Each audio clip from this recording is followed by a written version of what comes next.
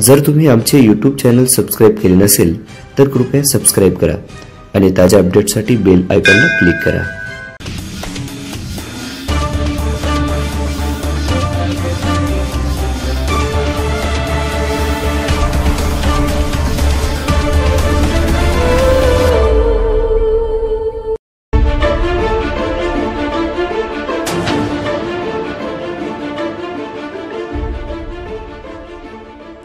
पैठण तालुक्यातील वडवाळी या गावात ग्रामपंचायततर्फे चौदा दिव्यांग व्यक्तींना एक महिना पुरेल एवढे किराणा साहित्य भाजीपाल्यासह आरोग्य किटचे वाटप करण्यात आले.